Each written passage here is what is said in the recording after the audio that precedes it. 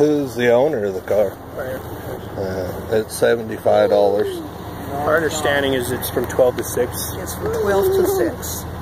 That's parking on the street. You're This in a driveway not- blocking hey, garages. Hey, this is the driveway, if you want to call it that. With our People can get back here. With our And the permission, ci- we cleared this through Brian Brown Uh-huh. at the association meeting because the bottom down there is full of cars at night.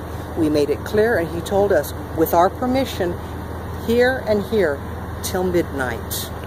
Midnight Brian Brown six. has told us there's no parking here No, No. and I'm there on, I'm on the because board you're in a He's driveway I'm on the board. blocking.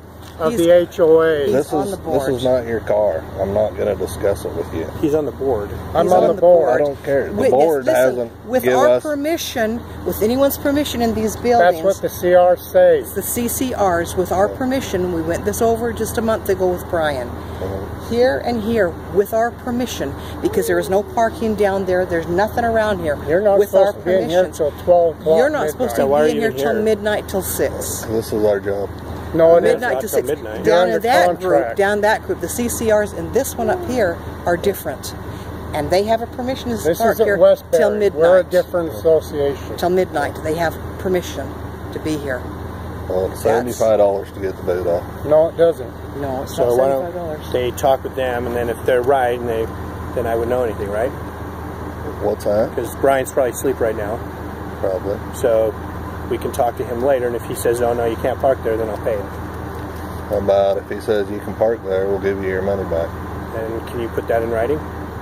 Well, I don't need to because we work for Brian. If Brian tells But, us, but you just said that you could do it. No, so why Brian, you? But we've been you be through this with that down? Brian, and you're not supposed to be in here. You're not supposed to be in here till midnight.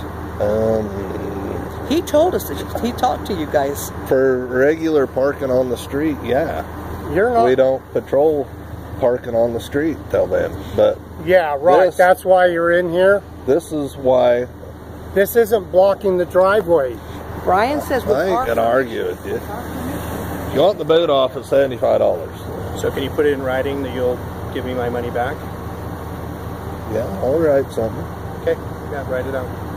How do you want me to write it? Listen, I don't Right, trust from this BY, guy that you would put pay your the money name. back the. Let me see if I can get a hold of. Let me see if I can get a hold of Brian. Let me. Let me see if I can.